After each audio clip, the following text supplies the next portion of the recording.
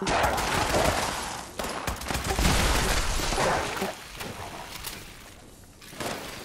hear what I said about the power attack thing?